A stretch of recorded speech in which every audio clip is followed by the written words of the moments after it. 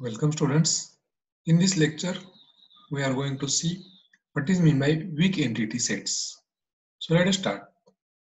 So weak entity set is called weak. There is, there is a reason calling this entity set as weak because an entity set may not have sufficient attributes to form a primary key. Such an entity is termed as weak entity set. Means it is not possible to form any primary key apart from all the attributes given over there. So an entity set that has a primary key is termed as a strong entity set. So you got both the terms weak entity sets and strong entity set. Generally, almost all entity sets are strong, but there may be some cases where we encounter encounter with weak entity sets. So when this is going to happen, let us see the example. Here is the example.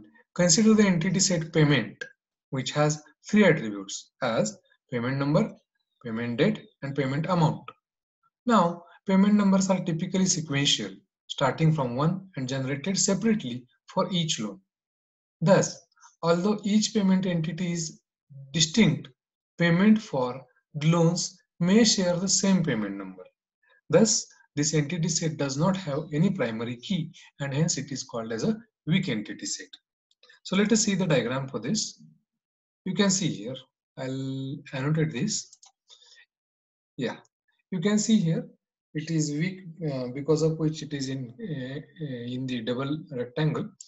Uh, this payment entity set is called as weak entity set because we may assume that payment number is going to be the uh, primary key. But it is not going to be the primary key because depending on the loan type of loan the payment number is going to be given.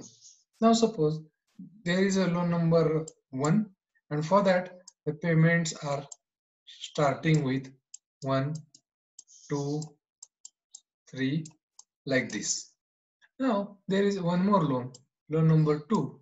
Now if we consider payment then payments for loan number 2 are also starting with 1, 2, 3. So now we have duplicate entries for the different payments like 1, 1, 2, 2 and 3, 3 and onwards, so on.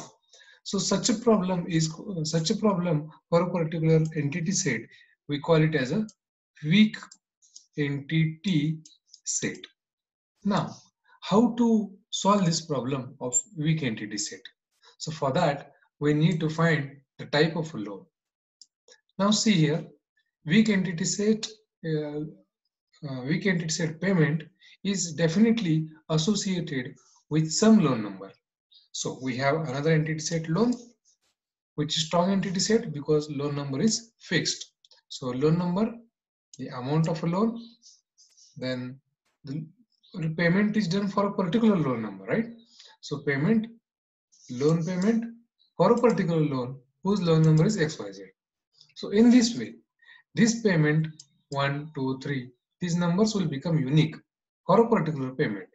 Now, if we consider only payment like uh, payment number one, two, three, and payment number one, two, three are duplicate. Hence, this payment number cannot be a primary key.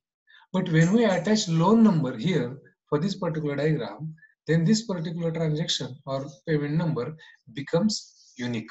How come? So 1, 2, 3, this 1, 2, 3 belongs to loan number 1. This again 1, 2, 3 belongs to loan number 2. So in combination, the transaction is unique.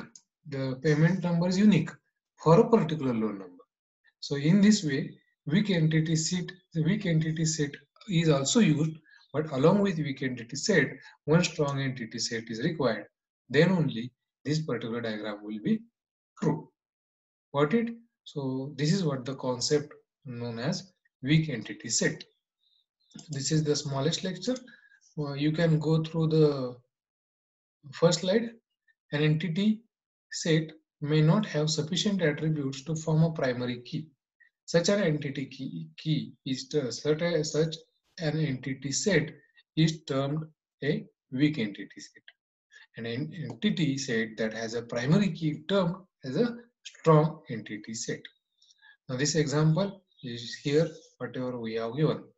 So the same example payment number and payment date are the uh, and payment amount are the attributes of a particular payment but this payment number is not going to be unique because depending on the loan number payment numbers are going to duplicate. That's why it is called as uh, weak entity set. And how that weak entity set is removed?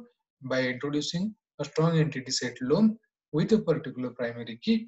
This every payment number will now become unique keeping in mind that this uh, double rectangle double ellipse and double lines are representing weak entity sets properly.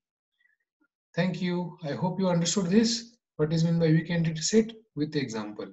Slide credit goes to database system concept book by uh, SKS 4th edition. Happy learning. Subscribe the channel to get the notifications of new videos. Thank you. Thank you very much.